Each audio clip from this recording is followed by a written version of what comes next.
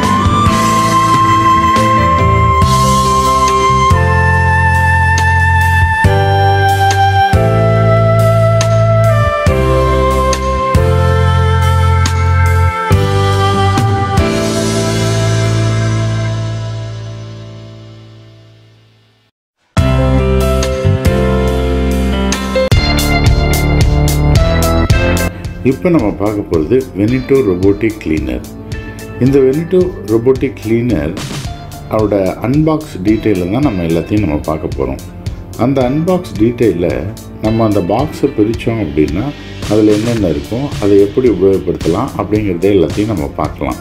இப்போ அது மேலேயே பார்த்தீங்க அப்படின்னா மாபிங் கிளாத்தோடு இருக்கும். அதை வந்து அந்த ஓப்பன் பண்ண பாக்ஸ் பிறகு மேலேயே இருக்கும். அந்த அது இதுதான் வந்து மாபிங் கிளாத் பிறகு வந்து நமக்கு வந்து நாலு ப்ரஷ் கொடுத்துருக்காங்க. ஆக்சுவலாக நம்ம ரெண்டு ப்ரஷ் தான் நம்ம யூஸ் பண்ணுவோம். ரெண்டு ப்ரஷ் வந்து நமக்கு ஸ்பேர் எக்ஸ்ட்ராவாக கொடுத்துருப்பாங்க பிறகு வந்து நமக்கு சார்ஜ் லெஃப்ட் ஹேண்ட் சைடில் இருக்கும்.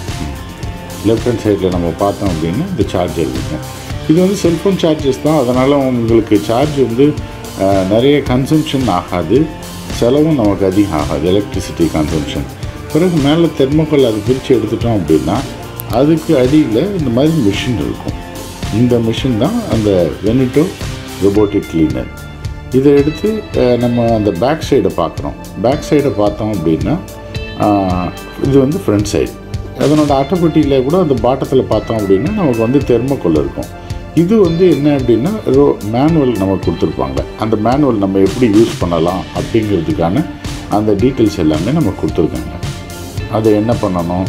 எப்படி செய்யணும் அப்படிங்கிறது எல்லாத்தையும் நமக்கு மேனுவல்லையும் டீட்டெயில் கொடுத்துருக்கோம். இருந்தாலும் நம்ம அதை சொல்கிறோம் அதுதான் இந்த ஒன் டூ த்ரீ அதாவது ஸ்டெப் பை ஸ்டெப் அதை எடுத்து எப்படி உபயோகப்படுத்துறது அப்படின்னு. இப்போ அதில் இருந்து பாக்ஸில் இருந்ததை பிரித்து பார்த்தோம் அப்படின்னா நமக்கு வந்து நாலு ப்ரெஷ்ஷு மாப்பு அப்புறம் சார்ஜரு மிஷினு மேனுவல் இது எல்லாமே நமக்கு அந்த பாக்ஸில் இருக்கும்.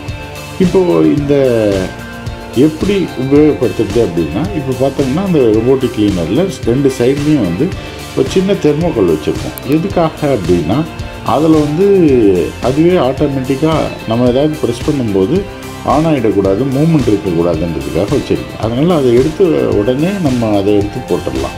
இப்போ வந்து ப்ரெஷ் எப்படி போடுறது அப்படின்னு ஆக்சுவலாக ரைட் சைடு ப்ரஷ் வந்து இருக்கும். அதில் ஆர்னு மென்ஷன் பண்ணியிருக்கோம். அந்த ஆர் ப்ரெஷ்ஷை எடுத்து ரைட் சைடில் நம்ம போடணும். லெஃப்ட் சைடு ப்ரெஷ் இருக்கும். அதை லெஃப்ட் சைடு ப்ரெஷ்ஷை எடுத்து நம்ம கரெக்டாக லெஃப்ட் சைடு ப்ரெஷ்ஷில் போடணும். அப்படி போட்டுட்டோம் அப்படின்னா நமக்கு கரெக்டாக செட் ஆகிடும் இப்போ ஏன்னா இது ரெண்டு ப்ரெஷ் இருக்குது ஏன்னா மற்ற கம்பெனிஸில் நமக்கு வந்து ஒரே ஒரு ப்ரஷ் தான் இருக்கும். ஆனால் இது ரெண்டு ப்ரெஷ் இருக்கிறதுனால குப்பையை நல்லாவே அது அள்ளி எல்லாத்தையும் உள்ளே அந்த கண்டெய்னரில் அனுப்பணும். இப்போ வந்து பேட்ரி பார்த்தீங்க அப்படின்னா அதை எடுத்துகிட்டு போடணும். காரணம் என்னென்னா அந்த ப்ளஸ்ஸுங்கிற இடத்துல வந்து உங்களுக்கு கனெக்டர் வந்து டிஸ்கனெக்ட் பண்ணுறதுக்காக ஒரு சின்ன பேப்பர் ஒன்று வச்சுருக்கோம். அதை எடுத்து வெளியே போட்டுட்டு நீங்கள் அதை போட்ட பிறகு தான் அது வந்து ஆன் ஆகும். எதனாலன்னா ஒரு சேஃப்டி ப்ரிகாஷன்ஸ்க்காக பேக்கிங்கில் வரும்போது அது முதல்ல கொடுத்துருப்பாங்க.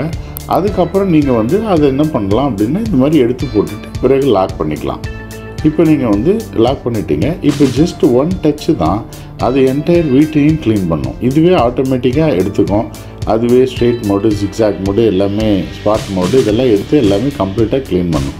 இதில் பார்த்தீங்க அப்படின்னா இது வந்து ஃபில்டர் இதுதான் வந்து அந்த வேஸ்ட் பின் கலெக்டர் எல்லாத்தையும் உள்ளே செட் பண்ணி வேஸ்ட் எல்லாத்தையும் அந்த அன்வான்ட் நீங்கள் பார்த்தீங்க அப்படின்னா டோட்டலாக இருக்க அந்த டஸ்ட் அன்னோட்டிஸ் டஸ்ட் வீட்டில் இருக்கிற மொத்த டஸ்ட்டையும் எல்லாத்தையும் எடுத்து வெளியே அது எல்லாமே உள்ளே அடங்கிடும். ஏன்னா வீட்டுக்கு கண்ணுக்கு தெரியாத குப்பை இருக்குது இல்லைங்களா? என்னதான் நம்ம ஸ்வீப் பண்ணாலும் அது மேலே இருந்து கீழே தான் உட்காருது. ஆனால் இதில் வந்து நீங்கள் பார்த்தீங்க அப்படின்னா அதுவே எல்லாமே இழுத்து சக் பண்ணி உள்ளே தள்ளிடும். அப்போ வீடு வந்து என்வரான்மெண்ட் வந்து நீட் அண்ட் க்ளீனாக இருக்கும். இந்த வென்டர் ரோபோட்டிக் கிளீனர் யூஸ் பண்ணோம் அப்படின்னா வீடு வந்து ரொம்ப பியூட்டிஃபுல்லாக இருக்குங்க. ஃப்ளோர்ஸ் எல்லாமே. இப்போ இது வந்து மாப்பிங் அட்டாச்மெண்ட் இது வந்து என்ன செய்யணும்னா எல்லாத்தையும் ட்ரை க்ளீன் பண்ணிட்ட பிறகு அந்த ரெண்டு ஹோல்ஸ் இருக்குது இல்லைங்களா? அந்த ரெண்டு ஹோல்ஸில் அந்த ரெண்டு கிளிப் மாதிரி கொடுத்துருப்பாங்க. அது கிளிப் ஆன் டைப்னால் அந்த கிளிப் ஆன் டைப்பில் நம்ம என்ன பண்ணணும் அப்படின்னா இதை எடுத்து நம்ம அப்படியே சுருக்கி விட்டோம் அப்படின்னா அது அப்படியே லாக் ஆகிடும் லாக் ஆகிட்ட பிறகு நம்ம அதை எடுத்து நம்ம வெளியில் தண்ணியை ஸ்ப்ரே பண்ணி அதை யூஸ் பண்ணலாம். இது வந்து மாப்பிங் கிளாத்துன்றதுனால இது ரிமூவபிள் ஃபிக்ஸபிள் தான். இது வெல்க்ரோ கிளாத் தான் இது. அழகாக இதை நம்ம ஓப்பன் பண்ணி ரிமூவ் பண்ணிவிட்டு மறுபடியும் ஃபிக்ஸ் பண்ணிடலாம் இந்த மாதிரி. இது வந்து ஒரு ஒன் டச் க்ளீனிங் தான். கம்ப்ளீட்டாக ஒரு ஒன் டச் பண்ணோம் அப்படின்னா அது வேலையை அது செய்துகிட்டே இருக்கும். நம்மளும் நம்ம வேலையை கவனிச்சிக்கிட்டே இருக்கலாம். பிறகு இது வந்து எங்கேயாவது ஒரு சர்ஃபேஸ் வந்து ஆன்டி கொலிஷன் எதுலேயும் வந்து இடிச்சிடாது. அதுக்கப்புறம் வந்து எதுலேயும் போய் இந்த மாதிரி ஸ்டெப்ஸ்லாம் தாண்டாது. அதுக்காக தான் இந்த மாதிரி ஆன்டி ஃபாலிங் சிஸ்டம்னு ஒன்று இருக்குது அதுதான் யூஸ் பண்ணுறோம் அதனால் இந்த ரொபோட்டிக் கிளீனர் வாங்கினா ரொம்ப அழகாக நம்ம வீட்டை வந்து சுத்தமாக வச்சுக்கிறதுக்கு ஈஸியாக இருக்கும். இன்றைய காலத்தில் சர்வெண்ட்டுன்றது தேவைப்படாது. இதுவே ஒரு டுவெண்ட்டி ஃபோர் ஹவர்ஸ் சர்வெண்ட்டு தான்.